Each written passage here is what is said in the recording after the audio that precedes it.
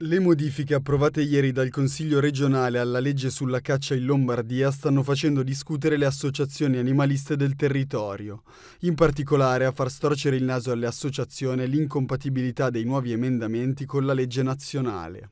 Noi riteniamo come associazioni ambientaliste e animaliste lombarde che sia un'ennesima presa per i fondelli per il mondo venatorio, perché molti di questi emendamenti, molte di queste modifiche semplicemente vanno in contrasto con le normative nazionali e anche addirittura con le normative europee e quindi saranno rigettate, si faranno ricorsi al TAR e come al solito eh, sarà necessario ricambiare la legge regionale sulla caccia togliendo questi emendamenti. Quindi a presa per i fondelli, cioè praticamente si danno dei regali al mondo venatorio che si sa benissimo che, che però poi verranno eh, nuovamente tolti perché sono anticostituzionali.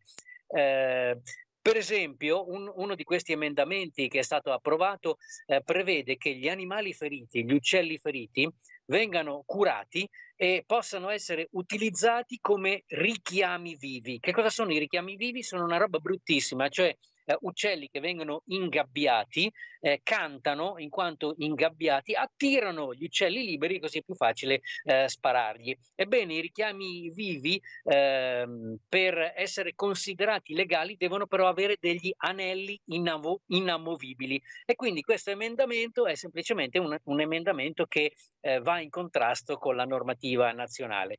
Eh, c'è poi un emendamento che prevede la creazione di nuovi appostamenti fissi di caccia in eh, zona Alpi, addirittura sui valichi alpini. Eh, non si può per cacciare gli uccelli migratori, una roba che non si può fare. Pensiamo che il mondo venatorio e soprattutto i consiglieri regionali dovrebbero occuparsi di cura del territorio, dovrebbero occuparsi di biodiversità, eh, eventualmente dovrebbero occuparsi di fauna stanziale e invece si occupano di come abbattere più facilmente gli animali. È brutto tutto questo.